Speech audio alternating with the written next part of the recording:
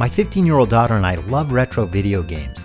We often go to a retro video game arcade in Pasadena, California, and we also play a lot of computer games from the 1980s and 1990s. We thought it would be fun to build a dedicated machine at home that we could use to play these retro games.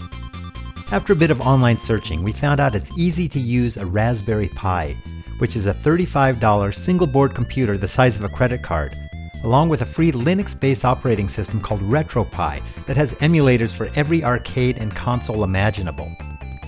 With our Glowforge laser cutter, we could easily make an arcade cabinet for ourselves as well as quickly make them for friends and family. In this two-part video series, which was underwritten by our friends at Glowforge, I'm going to show you how we did it. First, we bought all the parts and materials we needed to make the cabinet. We got a Raspberry Pi Model 3B Plus, a 32 gigabyte micro SD card, an AC power supply, a 10 inch HDMI monitor, a set of arcade buttons and a joystick, a pair of speakers, some cables, and a box of various machine screws and nuts. You can find all the stuff online, and I've included links in the description. One of the most important tools we needed was a pair of digital calipers. You can buy these measuring tools online for about $10 we use these to measure the dimensions of the different parts, such as the button diameter and the mounting hole dimensions for various components. The coolest tool we used was the Glowforge, which we used to cut the wooden sides and see-through acrylic top for the cabinet. The cabinet was one of the first things we ever made on the Glowforge, and I was pleasantly surprised by how easy it was to set up the Glowforge.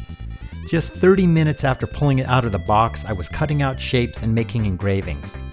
With a Glowforge, the possibilities are endless. It cuts wood, acrylic, even leather, and can be used to engrave almost any surface.